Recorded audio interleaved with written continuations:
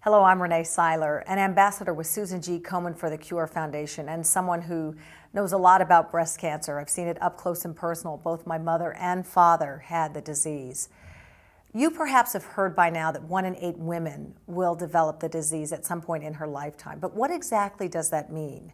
Here to help you assess your risk is Dr. Anne Moore. She's the medical director of the breast oncology program at Weill Cornell Medical College. Dr. Moore, Good to see you. Thank you, Rene. What are some of the factors that influence a person's chance of getting breast cancer? Well, the first, the first factor is, is that she's a woman. That, of course, is the highest risk. Although we see breast cancer in men, and about one in a hundred of our patients will be a male patient, and it always takes the men by surprise. Mm. Uh, the second uh, uh, increased risk is family history most women with breast cancer do not have a positive family history, but a woman who has a sister or a mother or a daughter who's had breast cancer is at increased risk.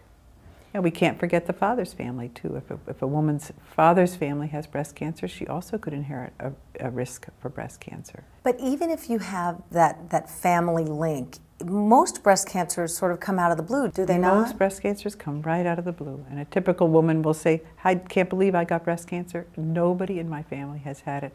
And that is typical rather than unusual. But if you do have a family member on your father's side, your mother's side, in my case, I had a mother and father, um, what does that do to your risk? Does it increase exponentially? It increases your risk if, you, uh, if the family carries a gene mutation, the BRCA1 or BRCA2 mutation, we can actually calculate more or less what the risk would be. Mm.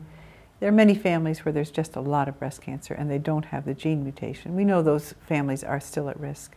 We can't calculate it as well as we can for the women who carry the gene mutation. As a doctor, if you saw a woman who had uh, breast cancer on every level of, of her family tree, you would suggest seeing a geneticist or a genetic I would. Counselor? I would, because I think in this case, the more information you have, the better you can make, make decisions. If you do have a family history, do you need to be screened more often? With our mutation carriers, who really are quite high risk to get breast cancer, we, we start screening them very early at the age of 25. We add MRI quite often to their screening, and we certainly do recommend the annual mammogram. Mm. In terms of ethnicity, is there, is there a link there at all? Are African American women more prone to breast cancer than Anglo women? Well, again, from the, from the gene mutations, from the BRCA1 and BRCA2 studies, we do see that there, for instance, women of Ashkenazi Jewish ancestry have a slightly higher risk of having the gene mutation, but any group of women, African American, Asian, uh, can have the gene mutation also. Mm. In terms of what we can do, you know, your, your genes, it's the luck of the draw, you know, you're, you're at the mercy of your family, but in terms of diet and lifestyle, there are some things we can do. I would imagine not smoking is a, is a big one. Not smoking is key for everything. Mm -hmm. There's no question about that. Uh, it is important, both the diet and exercise turn out to be important in breast cancer. Women who, who keep thin, who stay on a low-fat diet, have a lower risk for breast cancer as they get older.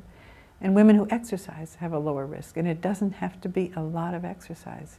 Mm. But, but moderate exercise lowers the risk for breast cancer. Eat right, don't smoke, get out there and do something. That's for sure. okay.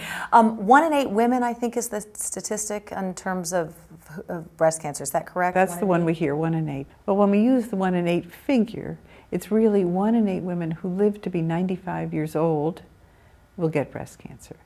Most, most women will not. So if we have a room of 50-year-old women, most of them are not, it's not one in eight. Most of those women will die before 95 most commonly of heart disease. Mm.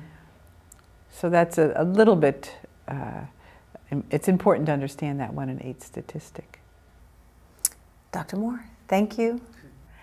For more information, you can visit the Susan G. Komen for the Cure website at www.komen.org or you can call their helpline at 1 800 I'm Aware. I'm Rene Syler.